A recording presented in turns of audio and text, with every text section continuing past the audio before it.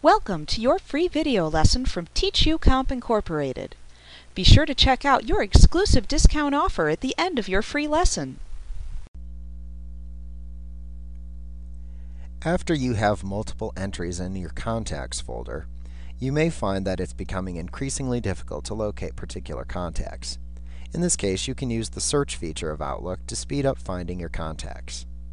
To search for a contacts in the contacts folder, open the Contacts folder, and then click into the Instant Search text box in the folder heading. Enter the text that you would like to search for, and then just click the Search button to find matching results in the folder. Now Outlook performs the search and displays any contacts that match the search criteria in the Contacts folder below.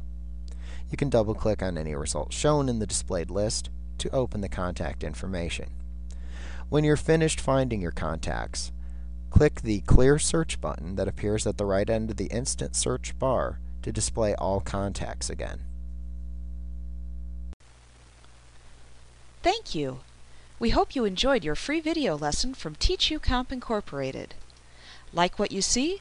Pick up your copy of our complete tutorial today and be sure to visit us at www.teachucomp.com/youtube for your special bonus offer.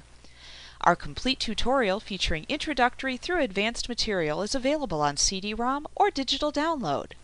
You will receive our high-quality video lessons plus printable instruction manuals in one easy-to-use training package.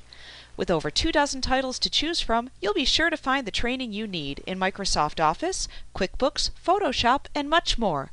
Visit us today.